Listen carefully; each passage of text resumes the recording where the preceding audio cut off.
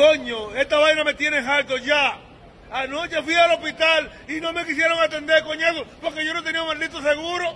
Pero ¿y con cuál seguro que atienden los haitianos entonces? Dime, ¿con cuál es que lo atienden? Porque eso está lleno de haitianos y haitianas ahí. Y a mí no me quieren recibir porque no tengo seguro. Dime, ¿cómo es la vaina?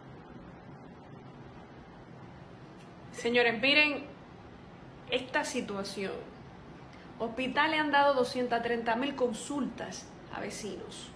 A este señor se le niega la atención porque no tiene seguro. Seguro que todos ellos vinieron de allá con un seguro internacional incluido y por eso se le atiende aquí en los hospitales de manera gratuita. Diagnóstico, señores.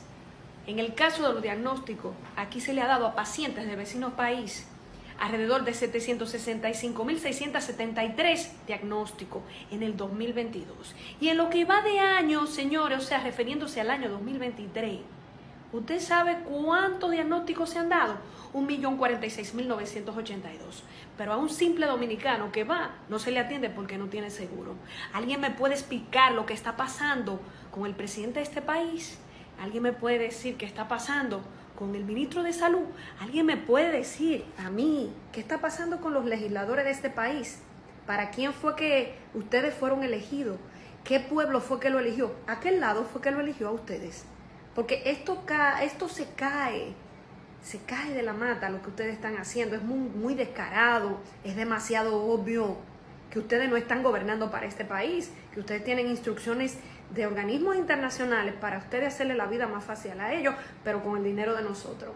35 mil millones de pesos se le sacan de los bolsillos a los ciudadanos dominicanos para dárselo a las parturientas y a personas que vienen de aquel lado, que se meten en intensivo, que valen uno y dos millones de pesos. Sin embargo, aquí, usted tiene una situación de salud, si usted no tiene un seguro, si usted no tiene dinero, usted se muere o si usted no tiene un amiguito en el hospital, o si no tiene relaciones con un buen doctor. Entonces, señores, aquí no podemos nosotros pelar, pelar naranja para que otro chupe. Así no se puede. Aquí se tienen que poner claro las autoridades, los partidos, los gobiernos, las entidades de valor, los empresarios, todo el mundo para que le expliquen al pueblo dominicano para quién es que ustedes están gobernando, porque para los dominicanos no es.